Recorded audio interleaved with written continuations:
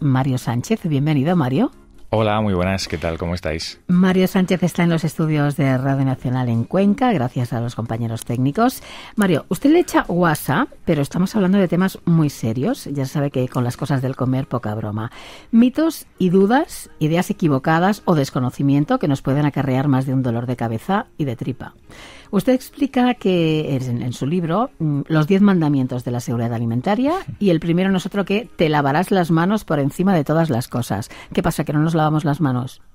Exacto, esto parece que era un tema no ya superado con temas de pandemia y demás, que no tienen que ver estrictamente con lo alimentario, pero todavía a día de hoy hay muchas personas que no se lavan bien las manos con agua y con jabón después de ir al aseo. Es muy importante el matiz de agua y jabón, porque muchas veces solamente utilizamos agua y eso no sirve, no es suficiente para, para eliminar esas bacterias, esos microbios patógenos que son los que nos causan enfermedades que luego pueden transmitirse ¿no? de forma alimentaria. Entonces, si no nos lavamos ahí bien las manos, luego manipulamos alimentos, estamos cortando un filete, preparando una ensalada, esas posibles bacterias ¿no? que vienen de los restos pues, de las heces, de la piel, del propio cuerpo humano, pueden pasar a los alimentos y ahí es cuando nos intoxicamos.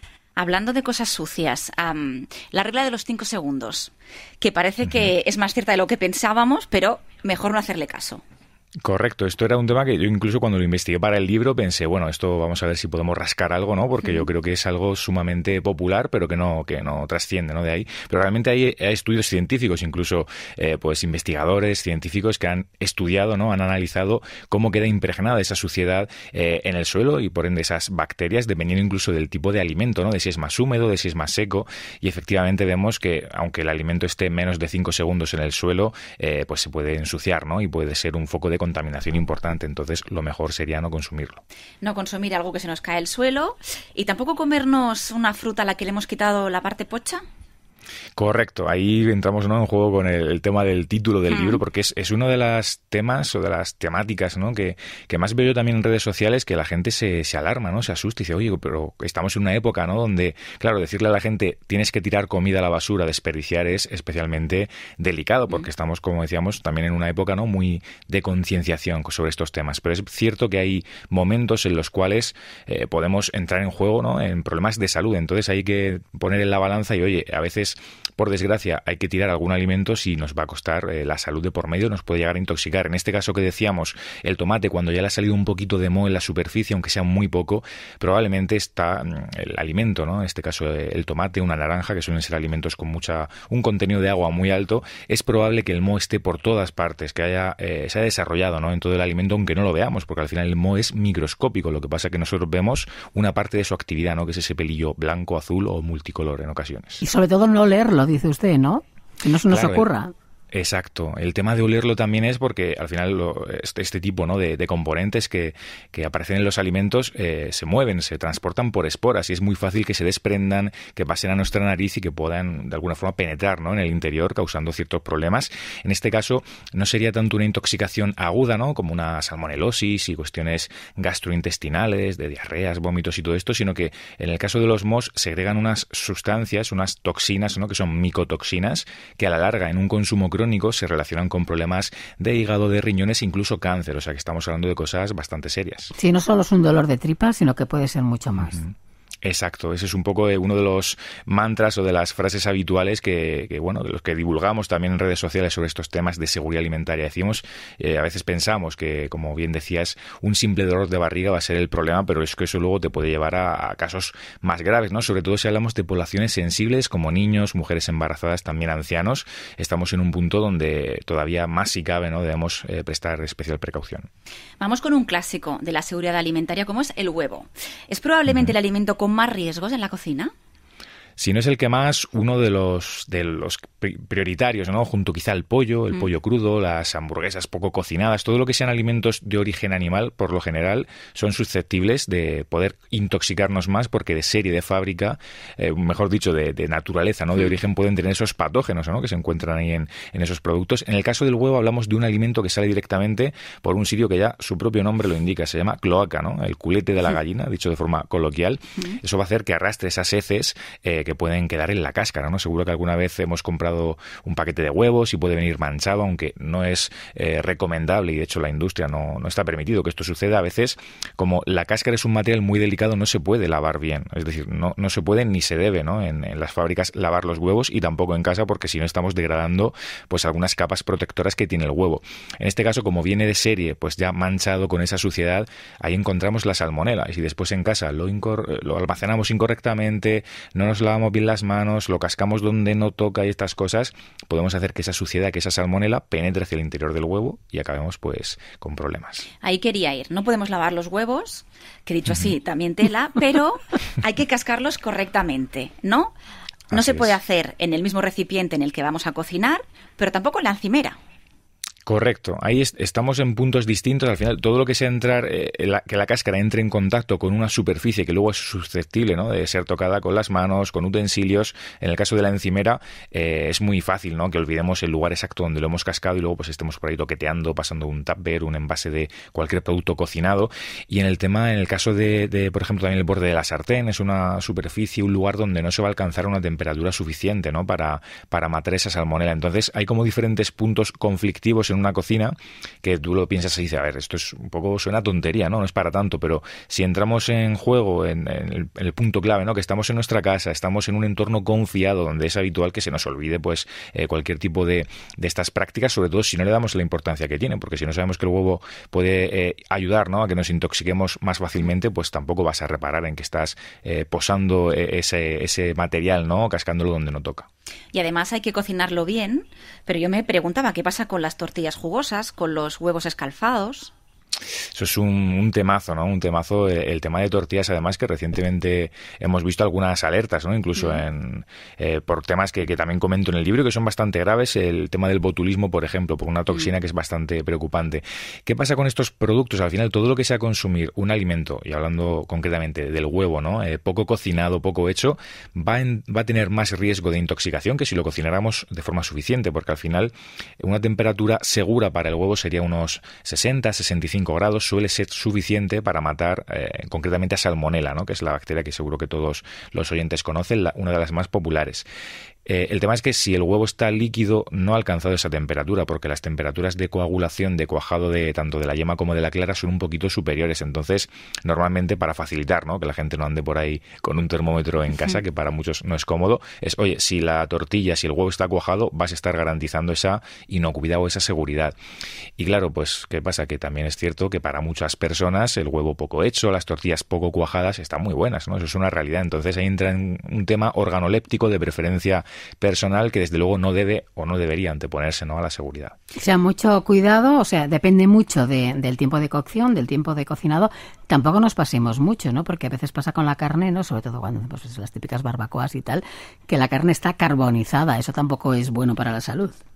Correcto, ahí hablamos ¿no? de quedarnos cortos de cocinado y en este caso es el extremo contrario. Ella, pues bichillos no pequeños, bacterias no van a quedar porque seguramente las hayamos destruido ¿no? con el calor, pero estamos entrando en otro punto. Ya es cuando se generan compuestos químicos, sustancias que pueden ser también potencialmente dañinas. Aquí hablamos de nuevo de temas incluso de algunos cáncer, de cánceres, ¿no? de problemas en hígado, riñones. Eh, son problemas asociados a acrilamida, que es un, potencial ¿no? cancerígeno que también se está estudiando mucho no queda del todo claro si en humanos es todavía a día de hoy, según la evidencia, 100% eh, de esta forma, ¿no? vinculado con el cáncer, pero desde luego hay estudios en, en animales que lo, que lo demuestran. Y al igual que la acrilamida, que es este tostado que aparece eh, cuando quemamos ¿no? en exceso las tostadas, el café eh, y también productos como las patatas, ¿no? las típicas patatas fritas, si las hacemos en casa hay que buscar siempre colores dorados antes que muy quemados, muy negros. ¿no? El tema de rascar la tostada negra en el fregadero de la cocina es muy habitual y es una buena práctica realmente porque está quitando esa capa de, bueno, de ese compuesto ¿no? que se llama acrilamida. Al igual que ese, pues hay muchos otros, benzopirenos, unos que tienen nombres ya casi impronunciables, ¿no? Hidrocarburos aromáticos policíclicos. Eso ya suena, industrial total. Suena complejo, ¿no? Es un grupo de, al final de compuestos que aparecen cuando quemamos mucho los alimentos y también asociados a las barbacoas y eh, al entrar en contacto con humos de maderas en combustión. Entonces, bueno, ahí es un tema de también saber que el color de los alimentos nos puede ayudar a, a, hacer un buen cocinado, un cocinado responsable y que les, tanto el quedarnos cortos de calor como el exceso también puede ser perjudicial. Ha dicho una palabra mágica, Teresa. Mario ha dicho madera. Y yo eh, tengo obsesión por las tablas de madera, los utensilios de madera en la cocina, porque me da la sensación que por mucho que los laves y que los metas en el lavavajillas incluso, como que no sé yo si quedan limpios. Y creo que usted no es nada amigo de estos utensilios. No, soy bastante hater, ¿no? Como se dice hoy en día. Al final, la madera es un material muy poroso que absorbe con facilidad jugos de los alimentos. Y claro, si hablamos de cortar tanto en una tabla, ¿no? Como incluso las cucharas, palas de madera para remover guisos, eh, en el caso de las tablas es especialmente preocupante porque estamos cortando, ¿no? Estamos haciendo grietas que ya de por sí la madera tiende a agrietarse. Y al final esos jugos, por ejemplo, de un pollo crudo, de un pescado, eh, que estamos ahí cortando, si después en el mismo lugar, ¿no? en la misma tabla, sin lavar, estamos cortando un tomate para la ensalada, la lechuga, entramos en lo que se llama contaminación cruzada. Estaremos poniendo en contacto alimentos crudos con cocinados. Esto todavía es mucho más preocupante eh, en el caso concreto de la madera, porque es un material que es muy difícil de limpiar. De hecho, hablabais, eh, por ejemplo, del lavado, ¿no? En lavavajillas no es recomendable porque la madera puede agrietarse, puede absorber mucha humedad y no es fácil que se seque, ¿no? Entonces, de hecho, no, no se recomienda, ¿no? Que la madera vaya al lavavajillas ¿Y qué pasa? Que fregando a mano también es complicado garantizar esa, esa seguridad. Entonces, yo suelo eh, desaconsejar la madera. De hecho, es un material que la industria alimentaria apenas utiliza, por no decir que no se utiliza, tampoco se usa en bares y restaurantes, sino otras opciones que son mucho más seguras, como por ejemplo eh, acero inoxidables, como el top, ¿no? El material predilecto, y también algunos tipos de plástico resistentes, ¿no? De tablas de, de plástico que por colores nos permiten filtrar y utilizar pues una para la carne de color rojo, otra verde para vegetales y una azul para el pescado, por ejemplo. Y esos vídeos que corren por internet de mm, para abrirlo, para hervir los utensilios de madera con vinagre y bicarbonato y que salga toda la mugre, eso, eso no sirve, ¿no? Eso tiene un sentido y realmente sirve para limpiar, pero no es lo mismo que desinfectar. Es decir, el vinagre es un buen elemento para limpiar y puede prevenir que crezcan eh, esos bichillos, ¿no? esas bacterias, porque está creando un entorno muy ácido donde va a ser difícil que crezcan. Pero una vez que han aparecido, que la suciedad está ahí, no conseguimos desinfectar. Lo, que suele desinfectar en casa, que estamos, eh, tenemos muy a mano, es por ejemplo la lejía. Eso sí que tiene un poder desinfectante porque mata bacterias. En cambio, el vinagre y bicarbonato son elementos que muchas veces pensamos que desinfectan y realmente no lo que hacen es limpiar, pueden eliminar pues restos de grasa, de suciedad visible, pero en cualquier caso no eliminan en una cantidad suficiente esas bacterias peligrosas. Otro horror de la cocina, probablemente las bayetas, los estropajos. ¿Cómo gestionamos todo esto? Aquí tenemos otro problemita adicional porque mm. son elementos que utilizamos muy a menudo, que suelen estar muy húmedos. Eh, en concreto los estropajos también tienen pues pequeños agujeritos, tienen muchos huecos en los que puede quedar retenida eh, restos de comida, mm, agua, humedad. Es un entorno al final propicio para que crezcan bacterias, ¿no? ¿Y qué pasa? Que si crecen bacterias que son patógenas, que son dañinas, pues va a ser mucho más preocupante. En estos utensilios tenemos un caso muy concreto que se llama biofilms. Los biofilms es una forma que tienen las bacterias de protegerse. Es como que se agrupan, se juntan varias de ellas y crean un caparazón protector que es como una película resbaladiza. Seguro que nos suena esa valleta que está ahí pegajosa, mocosa, que da un poquitín de asco, ¿no? Un poquitín, no, em, mucho. Un poco bastante, ¿no? Cuando llega ese punto de, que está ahí pegajoso y dices, madre mía, eh, está esto que se complica el tema. Ahí hablamos de un biofilm que es algo que es muy difícil de erradicar. Ni siquiera la lejía que la hemos mencionado antes puede eh, eliminar completamente todos sus biofilms. Entonces, llegados a ese punto donde el estropajo, eh, la valleta está en tan mal estado, lo mejor es tirarlo y sustituirlo por otro, porque si no, estaremos esparciendo por toda la mesa, por toda la encimera, por toda la cocina, en definitiva, toda esa suciedad y son microbios que pueden llegar a causar intoxicaciones, como decíamos. ¿Cada cuánto hay que cambiar la valleta o el estropajo? Esto es polémico. Se recomienda oficialmente de forma semanal pero claro, va a depender del uso que le demos. O sea, cuando como lavamos las sábanas y tiramos la valleta de la cocina. Sería lo ideal, pero una vez más entramos, claro, en temas de sostenibilidad, de gastar muchos materiales. Esto es un tema complicado. Eh, si, por ejemplo, no fregamos mm, tanto a diario, tenemos lavavajillas, que es una forma de, eh, bueno, de desinfectar y de lavar mucho más efectiva. A lo mejor puedes cambiarlos de forma quincenal o incluso mensual. Todo depende del uso que le des, pero si es para un uso muy frecuente, muy diario, que mucha gente que solamente pues frega a mano, semanalmente no es, ni, no es nada descabellado y sería lo recomendable. ¿Y cada cuánto hay que limpiar la nevera? Pues la nevera se recomienda también eh, más o menos una vez al mes una limpieza profunda. Eh, ahí tenemos un poquito más de margen, pero claro, todo depende de los guarretes que seamos, ¿no? de cómo tengamos de limpia la nevera, porque hay gente para todo. Entonces, si mantenemos más o menos una higiene habitual y vamos eh, pues en cada compra, quizá haciendo limpiezas más o menos superficiales, ¿no? Una limpieza profunda, es decir, que sería pues sacar todo lo que hay en el interior y usar ya desinfectantes y productos específicos, se recomienda al mes una vez al menos. Lo de la nevera también es un gran tema, ¿eh? Cosas que no podemos guardar en la nevera, ni patatas ni cebollas. 哼哼。Al final, estos eh, elementos, estos alimentos, yo creo que para mucha gente es, es conocido, ¿no? Se suelen guardar pues yo guardo la cebolla. Y yo. ¿Sí? Las patatas no, pero las cebollas sí. Si está cortada, por ejemplo, cualquier cosa, cualquier vegetal incluso que esté cortado, sí se debería guardar, porque al final está perdiendo esa capa, esa membrana natural, ya sea corteza, piel o lo que sea, ¿no? Del vegetal. Bueno, la cebolla tierna estoy hablando. ¿eh? No la seca. Claro. Mm. Pero ya hablamos del fruto o del vegetal completo, ¿no? Sin cortar. No, bueno, eso que usas un poco y entonces el. Resto lo guardas. Eso sí es correcto, porque una vez que está ya partida, en cuanto nosotros rompemos esa membrana natural del, vegetal, ya va a empezar a deteriorarse porque entra en contacto con el oxígeno, con factores ambientales, la humedad, incluso la luz. Entonces ahí es correcto, pero si hablamos de serie, ¿no? De una patata y de una cebolla eh, tal cual la compramos, lo ideal es que vaya a la despensa, que estén también en lugares más o menos oscuros, porque la luz solar puede alterar y puede hacer que salen aquellas cositas, ¿no? En las patatas salen aquellas protuberancias. Claro, sale de una forma más eh, predominante, ¿no? Con mayor facilidad salen esos brotes, mm. también pueden aparecer manchas verdes que se asocian a pues un deterioro de la patata y también un compuesto ahí tóxico que se llama solanina, que es un compuesto que si bien no es exactamente lo que aparece de color verde, porque al final eso es clorofila, al final la patata es un vegetal y la clorofila es el pigmento habitual, ¿no? que tenemos en las plantas, sí que esas zonas de brotes de que están verdes se asocian con mayor contenido en solanina, que es un, un compuesto también tóxico para el organismo que pero que en este caso, por suerte, apenas eh, nos intoxica porque tiene un sabor amargo muy potente. Y de hecho, cuando cocinas la patata se pierde casi en su totalidad. Pero hay que saber que, oye, una patata, incluso también una cebolla, ya ha crecido aquello que parece el Amazonas, ¿no? que tiene un tallo gigante, lo mejor va a ser eh, también tirarlo. Mario, una cosa, que antes hemos hablado de los huevos. Los huevos, yo cuando los compro no están en la nevera, sin embargo, yo en casa los meto en la nevera. ¿Qué, hay que hacer con los huevos? Esto es, aquí la gente acaba loca, ¿no? Porque, claro, se recomienda una cosa, en los supermercados otra. Lo ideal es guardarlos en el frigorífico, no en la puerta, porque es una zona muy expuesta a cambios de temperatura, ¿no? Aunque tenemos ahí siempre las hueveras puestas, que parece es un complot, ¿no? De la industria del frigorífico, no se sabe muy bien por qué está siempre eso ahí. Eh, realmente, en cuanto a seguridad alimentaria, lo recomendable es en los primeros estantes, porque va a estar el huevo más protegido de esos cambios de temperatura. Pero claro, la gente se sorprende y dice, a ver, si yo lo compro, como decíamos, en el supermercado esta temperatura ambiente, ¿por qué luego en casa en el frigorífico?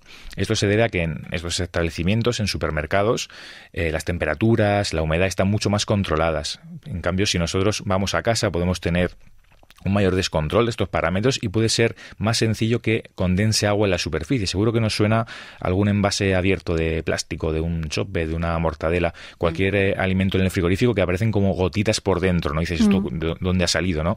Pues eso es agua que condensa con el cambio de temperatura. Es decir, es eh, agua que está en formato gaseoso, ¿no?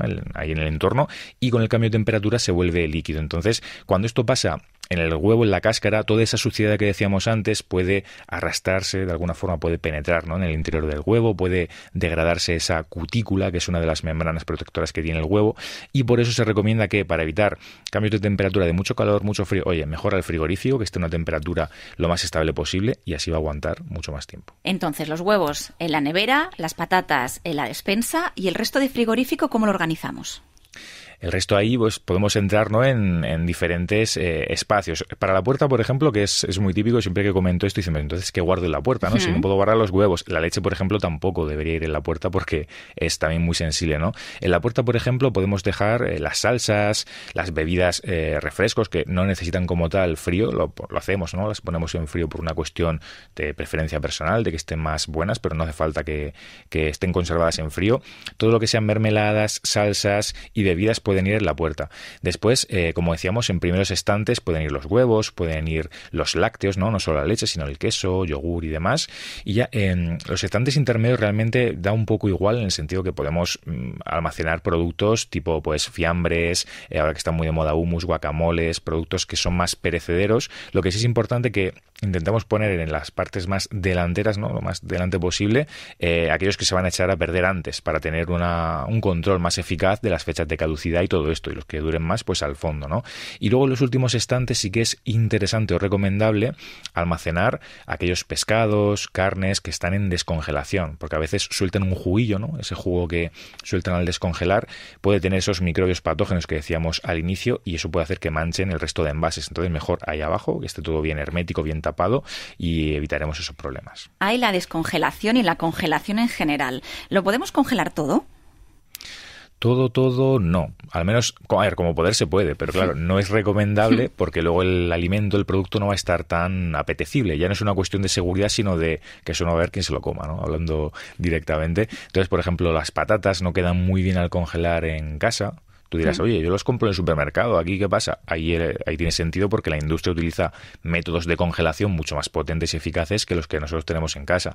Eh, tampoco sería recomendable a lo mejor pues em, congelar guisos que tengan mucha grasa, la grasa en general se lleva mal con el frío y productos de este, de este estilo que a ver si los congelas no va a pasar nada, pero es que luego vas a ver cómo sabe a rancio, ¿no? El, el frío ha hecho que esa grasa no esté bien, luego lo descongelas y el sabor se ha perdido, entonces hay que tener ahí algunas precauciones con estos alimentos pero como tal, realmente congelar se puede congelar todo. Pero no son eternos los congelados, ¿no? Exacto, no duran para siempre, ¿no? Hay gente que tiene a veces croquetas de, la comunión, ¿no? Le hacía su abuela y cosas ahí San Jacobos eternos.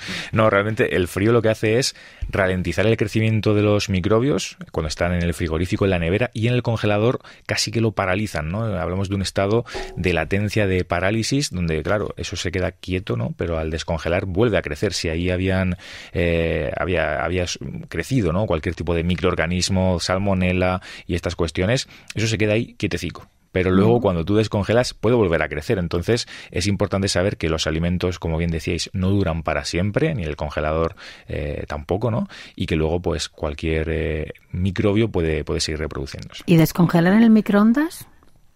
No es mala idea, es decir, no es la ideal porque, claro, lo ideal sería en estos casos hacer un cambio de temperatura gradual, ¿no? De muy frío de congelador, nos vamos al frigorífico y después podríamos eh, hacer eh, ese tipo de, práctica, claro, que requiere cierta planificación. El microondas está muy bien para una prisa, se nos ha olvidado descongelar pues lo que tenemos para comer hoy, eh, nos puede ayudar realmente. El microondas es un electrodoméstico muy seguro, sobre el que también hay mucha desinformación, la gente se piensa de hace años, ¿no? mitos que era cancerígeno y estas cosas, para nada en absoluto. Al final, el microondas lo único que hace es calentar el alimento desde dentro hacia afuera. De hecho, utiliza radiación, un tipo de radiación que es de microondas, ¿no? que por eso la gente se asusta al oírlo de radiación, pero es totalmente inocua y lo que hace es que caliente el alimento mm, agitando de alguna forma esas moléculas internas de agua. Entonces, cuando metemos un filete de pollo, por ejemplo, está eh, de alguna forma de, eh, de forma interna, ¿no? Eh, consiguiendo un aumento de la temperatura que va a descongelar el producto. Pero ya sabemos que en el microondas a veces pasa que se queda un poco descongelado, hmm. mm, quizá por dentro, por fuera se queda frío. No es tan uniforme, entonces no es una solución ideal. Lo mejor sería que el cambio de temperatura, como decía, fuera gradual, ¿no? En el hmm. frigorífico. O sea, nunca, nunca a temperatura ambiente. O he visto gente que le echa agua caliente para que se descongele antes. Lo mejor es dentro del frigorífico supongo que bien tapado en un tupper. Los tuppers también tienen su aquel, pero mm, para evitar esa contaminación cruzada que decía usted antes, ¿no? Sí, porque al final si hablamos de carne, pescado, pueden, pueden ¿no? De hecho, los alimentos sueltan jugos, que al final es esa, ese agua, ¿no? Que, que se descongela y eso pues eh, puede contaminar, ¿no? Otros alimentos del, del, frigorífico. Por eso mejor bien tapado, hermético, pero para prevenir y para evitar todo eso en las partes más bajas del frigorífico. Y si no pasamos por el congelador, que hacemos aquello del batch cooking, cocinamos un día para toda la semana. acabamos de hacer un guiso. ¿Qué hago con ese guiso? ¿Lo meto directamente en el tupper y en la nevera? ¿O dejo que se enfríe en la encimera? ¿O cómo lo hago? Eso es también un tema delicado, ¿no? Que genera muchas dudas. Porque también se decía hace tiempo, ¿no? Y se sigue diciendo que, oye, cuidado con meter comida caliente a la nevera que se estropea. Eso antes tenía sentido, pero es verdad que a día de hoy tenemos electrodomésticos y equipos frigoríficos muy potentes, entonces el frigorífico no se va a romper, mm, no se va a estropear, ¿no? Porque tú metas ahí un tupper de lentejas un poquillo caliente. Lo que sí puede pasar es que los alimentos que están alrededor aumenten su temperatura y entonces esté de alguna forma volviéndolos más inseguros. Así que tampoco es recomendable meter eh, ahí pues el tupper, el, guiso recién cocinado. Sí que se puede dejar un poquito de temperatura ambiente, intentando que la temperatura pues eh, baje, ¿no? Mm, tampoco es ideal dejarlo mucho tiempo porque entonces entramos en otro problema, que es ese crecimiento microbiano de los alimentos a temperatura ambiente. Entonces, se suele recomendar, oye, un máximo de dos horas. Eh, de dos horas, que no esté el alimento más de dos horas a temperatura ambiente, pero es que va a depender también de la temperatura de casa. No es lo mismo vivir en Asturias que en Murcia, ¿no? Entonces mm. la temperatura del calor va a ser diferente. Sí que debemos intentar que el tupper baje un poquito esa temperatura, que no esté igual que, en la olla, pero aunque esté un poquitín caliente, si a lo mejor tienes que salir a trabajar y claro, no lo vas a dejar ahí, eh, si la otra opción es dejarlo toda la tarde o toda la noche fuera, desde luego mm, mételo al frigorífico antes. Y una cosa que me ha sorprendido, que el arroz y la pasta máximo 24 horas en la nevera.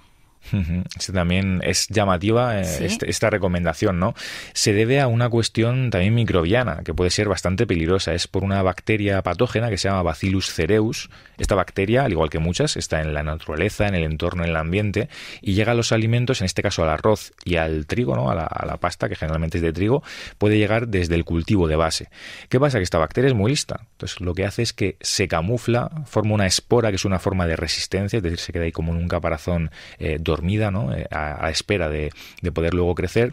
¿Y cuál es la cuestión problemática? Que mucha gente esto le sorprenderá. Aguanta, puede aguantar temperaturas incluso de 100 grados o más. Mm. Entonces, esas esporas, la bacteria lo que hace es una forma de supervivencia, pueden resistir las temperaturas de cocinado habituales que aunque tú pongas el agua en ebullición a 100 grados, el alimento tampoco va a alcanzar esos 100 grados. Al final es un juego de temperatura el alimento va a alcanzar siempre temperaturas inferiores. ¿Qué pasa con el arroz y la pasta?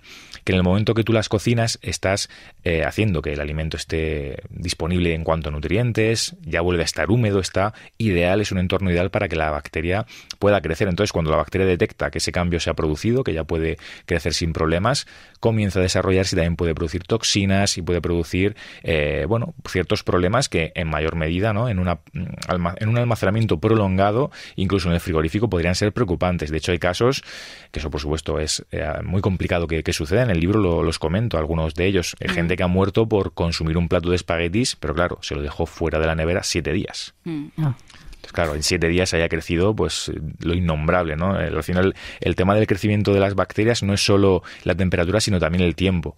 Eh, entonces, por eso, por una cuestión de prevención y que también, una vez más, en los niños y en personas más delicadas puede hacer mucho más daño, la recomendación oficial que se hace desde las autoridades es, oye, máximo una vez cocinado 24 horas. Si te lo tomas a los dos días te va a pasar algo, probablemente no, pero ya tienes más riesgo y mm. puede ser que si en alguna de las etapas previas no has cocinado lo suficiente, el alimento estaba más contaminado de la cuenta, pues pueda crecer ahí algo que te acabe haciendo daño. O sea, en eso de tener un tupper de pasta o de arroz o uno de cada en la nevera para que te saque de un apuro y tener ya el primer plato casi encarrilado no es, no es muy, muy buena idea.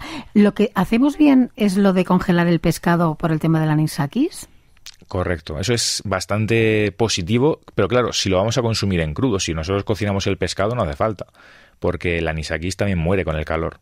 El problema de anisakis, que por eso se asocia mucho, mucho al sushi ¿no? y a preparaciones en crudo, es que se ha puesto muy de moda últimamente pues el consumo de pescado en crudo para sushi, carpasios, tartares y este tipo de preparaciones que ya pues diría ¿no? que desde hace unos años también forman parte un poco de alimentación más cotidiana. Antes no era tanto. Entonces, claro, se recomienda y de hecho por ley en restaurantes es obligatorio la congelación previa para eliminar el parásito. En este caso es un parásito, un, gusano, ¿no? Eh, que puede morir o bien en congelación o bien con el calor. Entonces, en casa sí que es recomendable y sería ideal congelar el pescado si lo vamos a tomar crudo, si no, no hace falta. Bueno, pues mitos, ideas eh, equivocadas muchas veces y, otras no, otras que ya vamos aprendiendo poco a poco, porque, mm, bueno, a mí lo que me queda claro de todo esto es que ante la duda, a la basura. Sí, es así. Es, es un mensaje, ya te digo, complicado porque yo muchas veces me enfrento pues eso, a críticas o gente que se echa las manos a la cabeza porque, oye, es que, hay que estás hablando de tirar comida, hay que tirar comida. No, hay que tirar la comida si te va a poner la vida en, en riesgo. O no solo la vida, la salud, porque a veces decíamos eso, pensamos que es solo un dolor de barriga, pero ya a veces eh, podemos entrar en gastroenteritis, en tener que ir al hospital, en pasar, eh, realmente perder calidad de vida por el camino. Entonces, a veces merece la pena tirar un tomate a la basura, por mucho que nos duela, antes que jugarnos esa intoxicación alimentaria. A tomate pocho no le inques el diente. Si voleu tenir més informació sobre tot això que hem estat parlant, doncs aquest llibre és molt interessant i a més, com deia abans, està escrit amb, amb sentit de l'humor, tot i que el tema és muy serio, el tema tiene su miga y, muchísimas gracias Mario Sánchez por ayudarnos a, bueno, a, a algunas de estas dudas que tenemos, eh, creencias falsas, pues ayudarnos a, a combatirlas y aprender Muchas gracias. Todo, todo, un placer, gracias a vosotras por la entrevista. Teresa, gracias. Fins la propera.